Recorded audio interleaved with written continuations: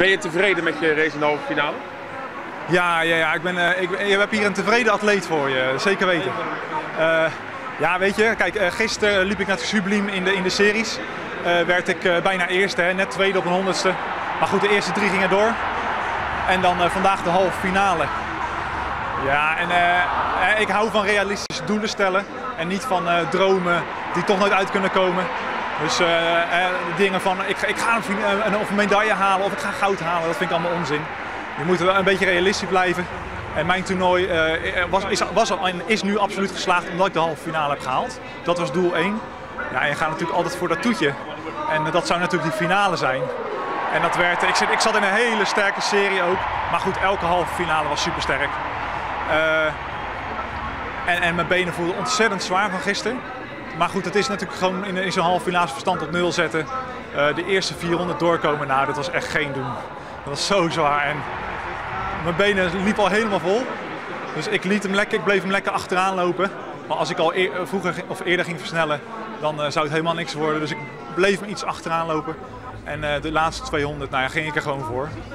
En ik kon nog twee, drie atleten inhalen. Ik wist al dat ik voor de winst, ja, ging het ging toch niet meer lukken. Dat voelde ik na 100, na 100 meter al. Maar ik probeerde gewoon zo snel mogelijk te lopen en er zo, mogelijk, zo mooi mogelijk een halve finale van te maken.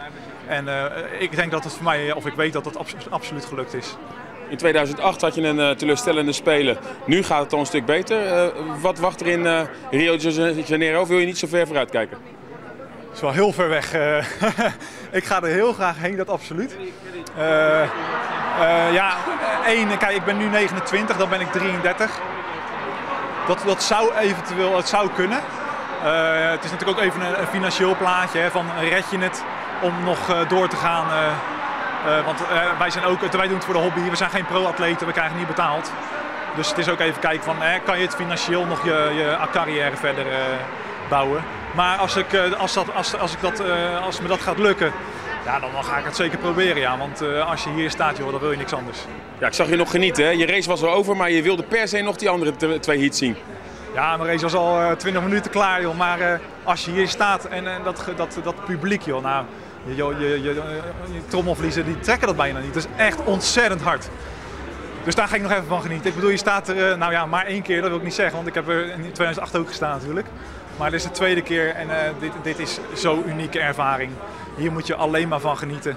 En uh, ik, ik kan ervan genieten. Ik heb serie Sublime gelopen, halve finale. Heb ik naar mijn inziens echt goed gelopen. Helaas niet door de, maar naar de finale, maar ja, je moet ook niet, niet onrealistisch dromen, wat ik al zei. En ik ben helemaal blij. Je hebt een super blije atleet voor je. En op naar Rio zou ik zeggen. Ja, en de beslissende vraag, de belangrijkste vraag. Wanneer gaat de tatoeage komen die je ons had beloofd? Ik zeg, wanneer jij kan. ik ga vanavond of morgen eens even googlen. Tatoeageshop Londen. en dan gaan we hem eronder zetten, Londen 2012. We gaan het zien, dankjewel.